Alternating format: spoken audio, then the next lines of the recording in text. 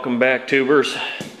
All right, so off camera, I uh, went ahead and got this gate jamb painted. Uh, I showed the beginning of the body filler work on the inside, and uh, at this point, I'm standing way too close to the truck, but it's back on. You guys have seen me do this stuff before, but we're gonna move, now that this is ready for uh, a final scuff and paint, I wanna paint this at the same time that I do the rockers. Um, so I'm going to show you these panels that I got. Of course it's dark, I need to replace some light bulbs in here. We're going to go ahead and set this down and show you. This is a style rocker. All this is, is the part that lays right into the jamb and it's 70, 70 some inches long, but it will reach all the way from the seam back there at the door to right about, well, if you look,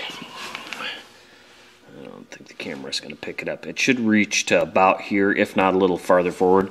This area here hardly ever goes. Um, this is solid as a rock up here. So first things first here this morning, um, I started pulling the sill plates off because the Suburbans and the Denali's and all the the luxury SUVs, they have this weather strip that runs along in here and they've got this plastic that runs along in here. Um, it has to come out. I am also going to pull the doors off uh, because you can see with the door open how close that is to the rocker. That's the back door. So first things first, I popped off those trim panels. Uh, they just have push-in retainers that go in there. They pop up, okay? Uh, you guys can all figure that out. So now let's get to the nitty gritty. You see a light set up here. In order to pull these doors off, it's very simple. You have a 10 millimeter bolt there and there, upper and lower hinge. You have the strap that keeps the door from overextending. That's also a 10 millimeter, so there's three bolts.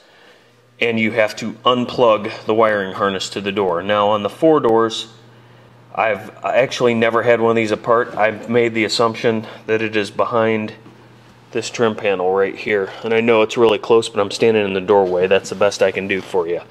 Um, I believe this is the plug wrapped in foam down here. I know the light's kind of bright, but uh, I'll take a peek in there and it looks like there's a ground also on that for whatever reason. So we're going to get that unplugged it's either right there or it's up here at the top. But one thing I want to say about these little rubber plugs, let's see if I can get that damn light somewhere where it's providing a little bit of ambient light instead of blinding the camera. You can either pull the rubber back on them a little bit, which, let's see if I can do this one-handed. I don't know that I can. My hands are a little cold this morning here but at any rate um, why don't I shut that off? I'll roll that rubber back. It just goes around. There's a plastic uh, grommet that snaps into that opening. So I'll pull the rubber back and I'll show you how to remove that. Alright so I kinda lied. You don't have to pull this trim panel out.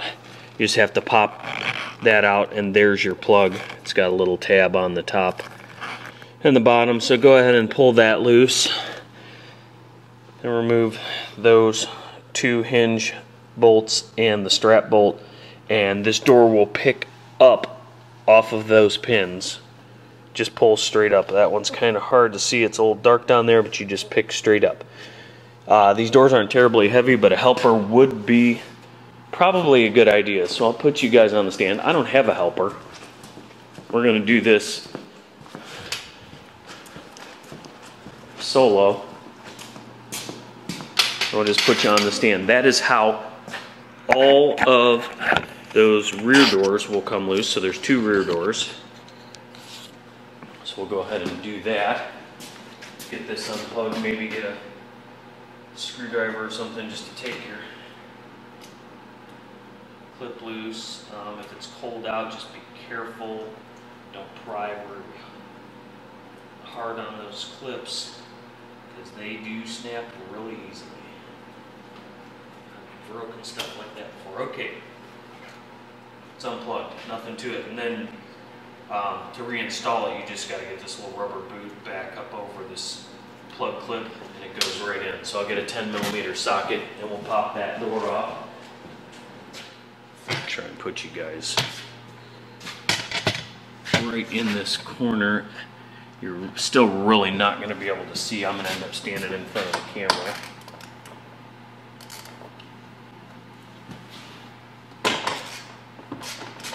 I guess I could have pre-loosened all this stuff so it looked really easy on camera, but typically it's not tight.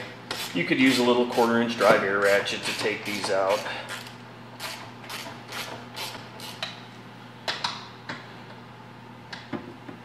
Usually the hardest part of removing a door like the GM doors are easy. Hardest part is finding how the stuff plugs up, for me at least. We're going to do this with the tools you have at home as far as removing it. We're just going to use a quarter inch drive ratchet. Nothing crazy. Easy squeezy. Now I could probably leave the front door on since I'm not going that far and just pull the rear doors off. You may make an executive decision on that before this game is all played.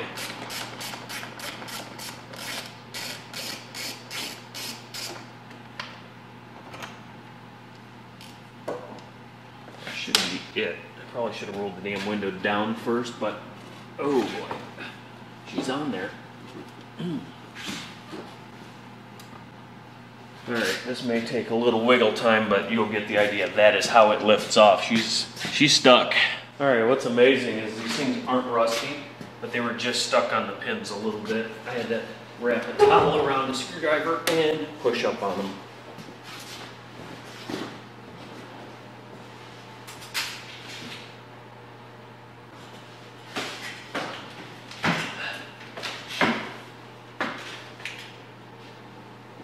So there you go. That's how those doors come off. Now I'll get you a little close-up view of what I was explaining before that was hard to see.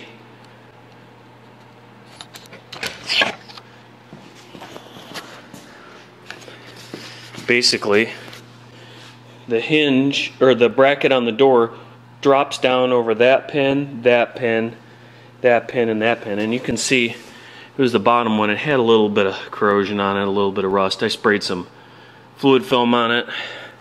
These doors are tight too. These need lubed. You can tell they weren't open and closed very much, but we're not going to mess with that until after this is done. So we're going to kind of work on this one side at a time. Uh, you'll learn right along with me. I have a, a sick feeling, since I've never had these off before, that they are double-sided tape. Could be wrong. But uh, Boy, they sure as hell look like they're double-sided tape. Oh, yeah. Yeah, because uh, that, uh, that rocker has to come up. Basically, there's no good place to see it, but it's either going to get seamed right there or out just a skosh. So there's minimal body work. So we'll go ahead and uh, we'll pry on that. I'm going to bet you a dollar it's double-sided tape.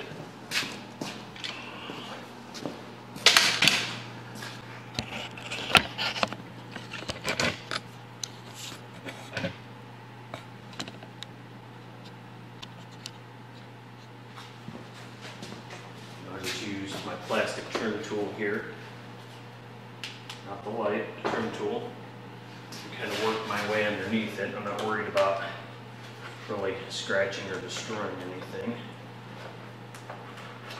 I do not want to break these, I can tell you that.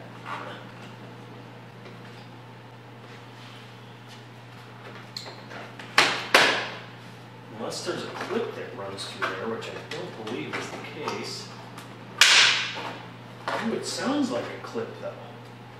That made a clip noise because the top of this isn't isn't really stuck down. Very interesting.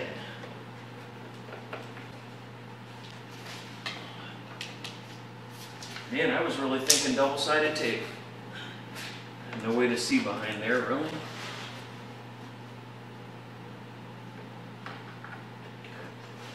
Can't see a thing. Boy, that sounds like a, uh, that sounds like a clip to me, boys and girls. Let's get a bigger tool. you don't have some of these plastic, these are China frayed, but they work just fine for what I use them for. I know Snap-on makes some and a lot of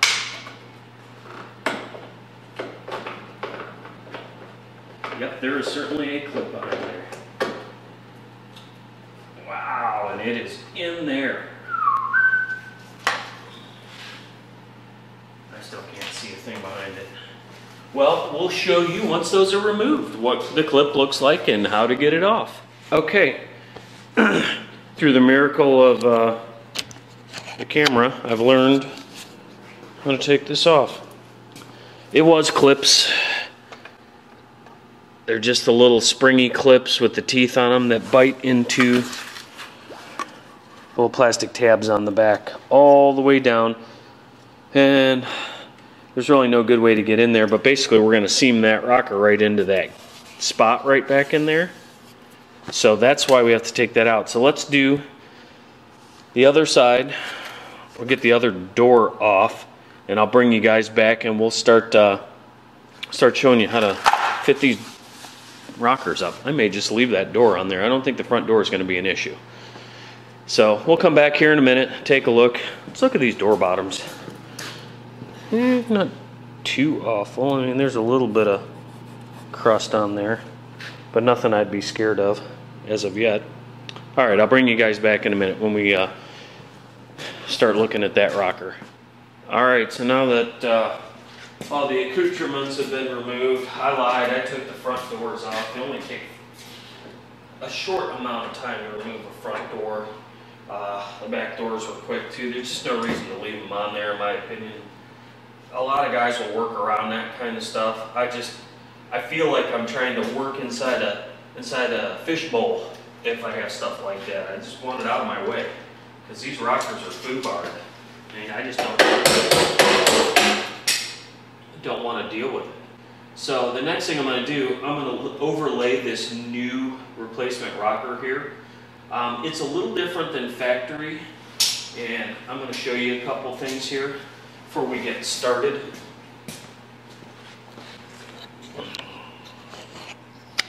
Not moving so quick, I just finished my lunch. So basically, if you look at the underside, well, you're staring at a big hole in the rocker, but I think we're looking looking at it right here. Uh, that's where the factory running boards bolt on. That's part of the inner rocker. And if you look these are made without those notches in it. So I'm going to clamp it up there and kind of mark where those spots are notched out. And then we'll uh, kind of decide how much of this I want to do a preliminary cut and take off. Um, one thing that you will not have doing one of these overlays style rockers, and I keep calling them an overlay uh, or a slip-on, but it's really not what they are because we are not laying it over top of this garbage metal. We're actually going to either cut just eh, maybe half an inch from that seam right there and I'm going to flare that down or tap it down and lap weld it and put corrosion protection behind it by means of weld through primer or I'll butt weld it uh, down in this area. I haven't decided how I want to do it because the lip on the top of the new rocker will come to that area there. Now, once you get into the corners, it's sort of rounded, so you're going to have to You better hope that enough of this corner is still good. Um, at the factory, this rear panel actually is spot welded along the side here and it overlays this rocker. So truthfully, this rocker actually goes behind there, but um, this one, there's still just a tiny bit of meat on the end of it, uh, enough to weld to and uh, then we'll seam seal this gap again because that's full of seam sealer right now. So we will uh, get something going here, but I wanted to show you guys that. The other thing, if you look at the 99 to 06 Silverado pickups and Sierra pickups, they have these little raised, uh, like a, almost like it's bead rolled into there. The Suburbans do not have that. It is made Oh, let's focus. That is smooth. Now, I don't find that to be a big deal. Um, but the only way to do these is to buy the full rocker uh, if you don't want that or make your own. And I'm just, this truck isn't getting it. It's in too good a shape up in here. The inner rocker appears good. So let's get it clamped up there. We'll let the camera roll for a few minutes so you guys can kind of see how I start off with these and figure them out. Basically, I want to do some exploratory surgery. I want to cut a smaller hole than what that patch will cover. And I know I need to come pretty much to the back anyway. So I want to clamp this up here. I'm not sure exactly how I'm going to clamp it. I've got a couple welding clamps here. Sometimes this works, sometimes it doesn't.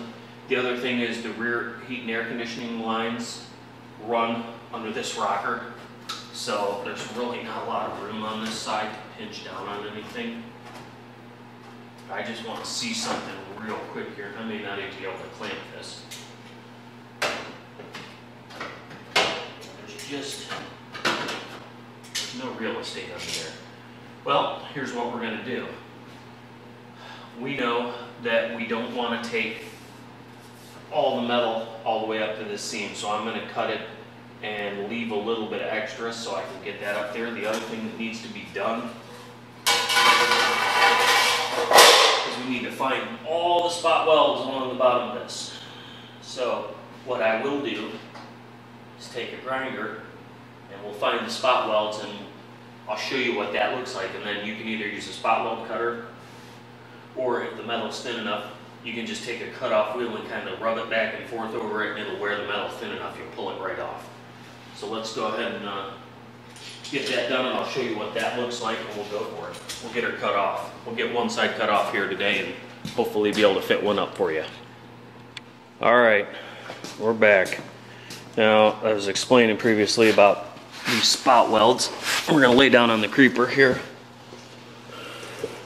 Basically taking the grinder and you can see the ring and then I will take the cutoff wheel and work back and forth and I think I'm holding that well enough you can see a faint outline in there. You thin this outside metal up enough you can either put a chisel in between the two and tap it uh, or a uh, seam breaker or your air hammer. Once you've backed up here and you know cut loose up at the top because you can sort of fold it down a little bit and push it through from the top because you can see exactly where the weld needs broken. Now I may not have ground them far enough but that's about 10 minutes worth of grinding and it beats breaking drill bits and dicking around um, unless you have a two to five hundred dollar spot weld cutter um, that has a pneumatic feed on it to do these, which I don't own one yet, but I'll be purchasing one because um, I'm tired of doing it this way. Uh, you can buy the Harbor Freight ones that look like a, a little hole saw. I'll show you here. Actually, this one I think came from Airgas or one of the welding stores. Uh, it's basically a Rotabroach. Let's see, can we get her to focus? There we go. Basically a hole saw with a little center pilot in it um, to keep it centered, but these will even walk off. Uh, this is a, I think, a Blair products. They work good. Um, it's just there's so many and there's nothing here I'm trying to save. And uh, I just did a little investigation. I think this truck's had a quarter put on it or a, uh, a side body panel here. I don't know where if they seamed it or if it goes all the way to the roof hem or roof seam. You can see, I thought this was seam sealer and it probably is. Um, so let's go look at the uh, driver's side. It doesn't have anything like that. So I have a feeling this thing has been punched in the rear end before. Um, and this one's clean. There's nothing along the edge of it. Uh, and this rocker's in a little bit better shape as well. It's still got paint peeling. We're still going to change it because I know it's a matter of time before it's gone. And I tapped on it and you could hear big blobs of crusty stuff coming off of it. So that's where we're at with that. Now the next thing I'm going to do Um, you know, this, this is a, this truck's in pretty nice shape. This is a work truck. Um, before I weld, I will blanket with welding blankets inside here. I'm not too concerned about a couple of sparks, and I try and aim my sparks away from it. Um, the welding blankets are just so stiff, they're hard to lay over stuff. But I'm going to put a tape line in here, just something to follow, and we're going to get out a cutoff wheel, uh, either the pneumatic or on the grinder, however you guys like to do it. I have this kind right here to go on like a four and a half inch angle grinder. Um, those are Diablo ones. You get those at Home Depot. I think probably Lowe's has them too. Um, I just happened to get these on Saturday. Otherwise, I probably would have went to Airgas or somewhere. The problem is they last just about as long. You want the thinnest ones you can get, in my opinion, because um, they don't heat the metal as much. Again, not that that's a big deal. I can find a roll of tape or stick this one in the heater duct up here and warm it up. This tape's been sitting all summer. I could go do the musty one trick and throw it in the microwave, but I don't feel like doing that right now. I have another roll of tape. And the only reason I'm taping this is just as a reference, visual reference for myself. So I know, hey, dummy, don't go beyond this. You don't have to do this. This is not a crucial step. But I'm going to go right up into that seam right there. You can always cut more off. I can turn this into a flange. pretty much whatever I want to it. But I really don't want to get up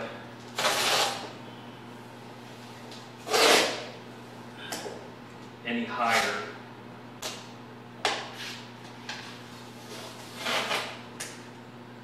than I have to.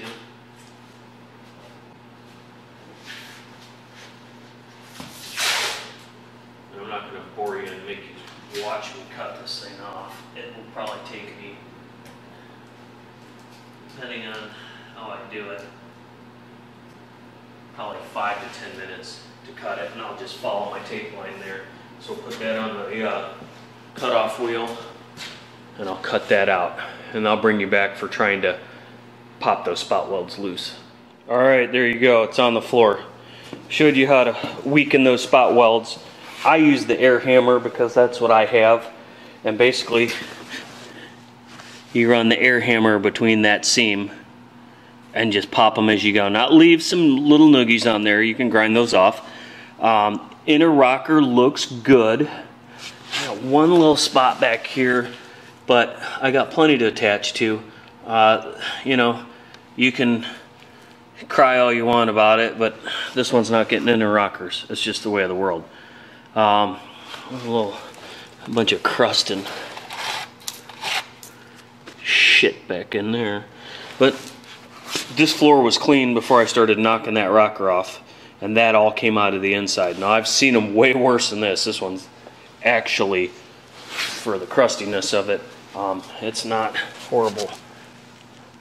But you look at my lip up in there right where I cut it off, that's all clean metal still. So I'm going to square that off so that it's a straight line. I can't stand the fact that I cut it crooked. I used an air saw to start with, even though I said I was using the cutoff wheel.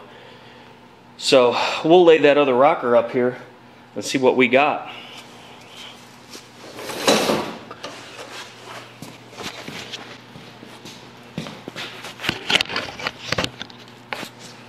Can't stand working in filth. But I guess working in rust is part of the drill.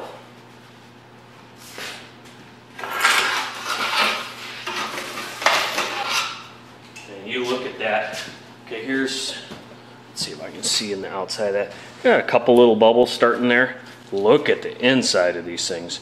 Now they weren't completely through, except for in the back, so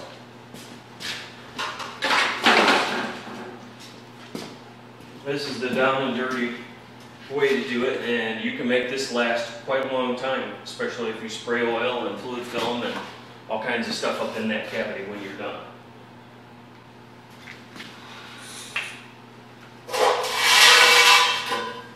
Alright, set this panel up there.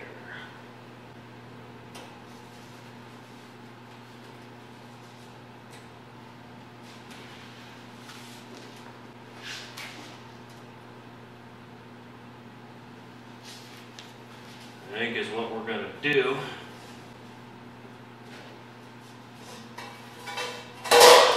I'm gonna take a piece of tape and go exactly the width of the tape away from that seam and then we'll take some off of the rocker so that fits up in there. And this is just a matter of trial and error, on and off the truck, on and off the truck, until you get it where you want it. Clean all the crusty rust off the bottom. Use your little angle grinder with a uh, 36 grit Roloc disc. Use wire wheels. Wear eye protection, wear ear protection. And I don't mean wear ear protection just because it's loud to keep the shit out of your ears.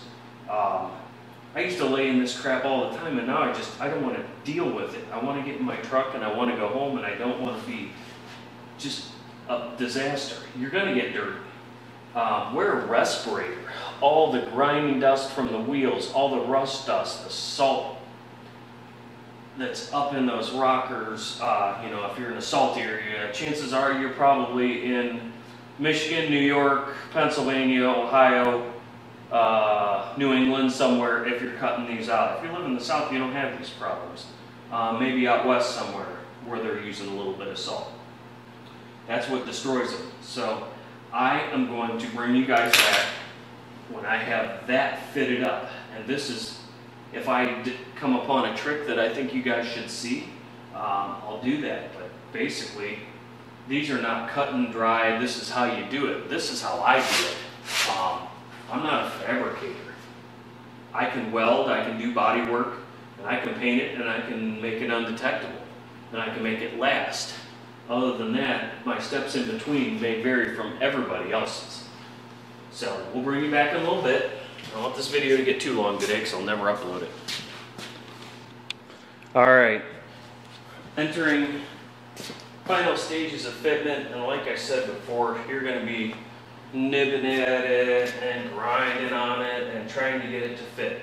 But this is typically, for me, not be for everybody. This is how I do them, and I don't have any problems. I'll tell you a couple of pitfalls, things you need to watch for, and things you need to do real good to make sure everything's good to go. Now, I've trimmed that rocker down, and I'll show you the fitment here in a second. We are probably roughly a half an inch away and I sneak up on this. I trim way less than I think I need from my outer edges. And then I look inside. Now, you might be able to see in there, there's some crust. A number one important thing you need to do to make this butt weld, in my opinion, is you need to get in there with wire wheels and, and implements of mass destruction and clean the living bejesus out of that you cannot have that scale on there anywhere near your weld zone, probably an inch away if you can get it. Same thing with back here.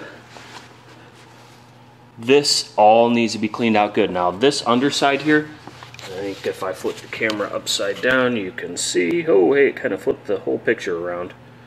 But it's clean, okay? There's nothing, no surprises up there.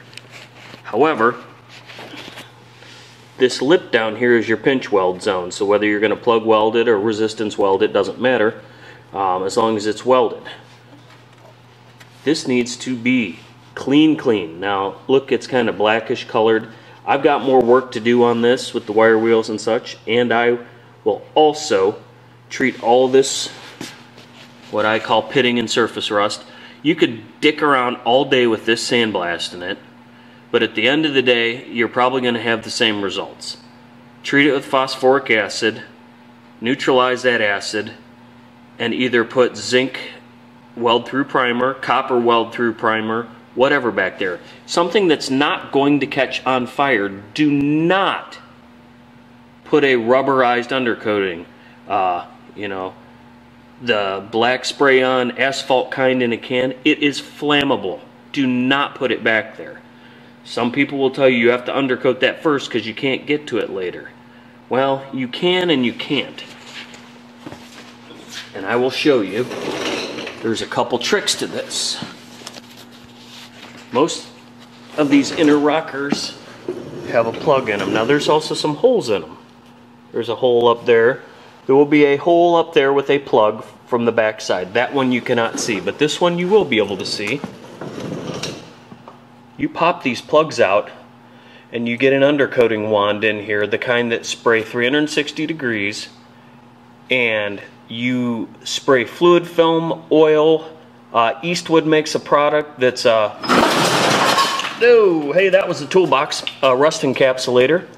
Um, here, I'll show you that. That's why you don't leave all your drawers open with shit piled up on them.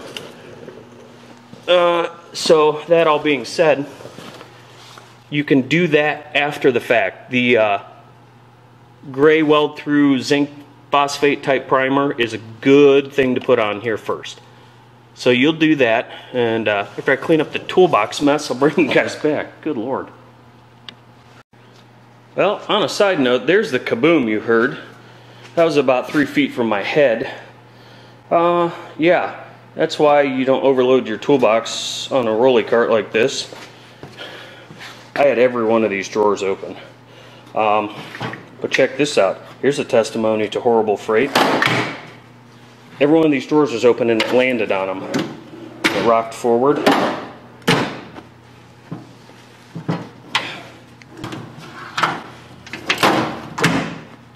They still roll. It didn't even mess them up. I'm impressed. It dented that one though. Well, I'm gonna clean up this pile up. Well, I'll talk to you in a few. Alright, now I've got all the toolbox vomit off the floor and it's standing back up. I wanted to show you the fitment of this and kind of how I did it. This one, where it meets the rear quarter, they're not formed perfect so you're going to have to kind of tack and move and adjust and tack and get the metal where you want it. But uh, and that's pretty much what you got. All said and done after maybe an hour and a half, two hours of snipping and deciding how I wanted to do it. Now this up front here, I, I'll be honest with you, I had a boo-boo. Um, I kept nibbling away at this, thinking I had that clamped up good back there. And the fact of the matter was, I didn't need to nibble any more away. So what I'll have to do is uh, fill that gap. Now it's pretty wide at the top. But uh, what I'll do is I'll put a filler strip on the back of the new metal rocker so that it overlaps the back side of this.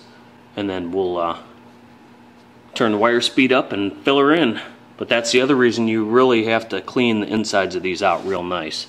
Otherwise, if you run into a situation where you don't have a perfect fit, I mean, you're working hard, you're, you're trying to get the best fit you can, but uh, this is aftermarket stuff. So you get it as perfect as you can get it, and of course go from there. So that's where this is going to stand for today as far as the video goes. I will uh, pop that rocker back off, treat that with phosphoric acid. I've shown that process before on kind of how I do that. There's really not a lot to it. Uh, you spray it on there, you let it set, turns the rusty pitted spots black, you wipe it down with water to neutralize the acid, which is counterintuitive. You're thinking, I know, you're thinking that water is going to cause it to flash rust again. Well, not because of that phosphoric acid is not going to rust right away. But then as soon as that's dry, we'll take a blowgun to it, make sure everything's good. We will put the weld-through primer on. We'll be ready to go. So I will show you tomorrow um, I'm not going to show you the opposite rocker. It's going to be the same as this one. In fact, the other side's going to be a little, probably a little bit less work now that I've done one. Um, we'll go from there. So I'll pick it up tomorrow we'll see you guys then.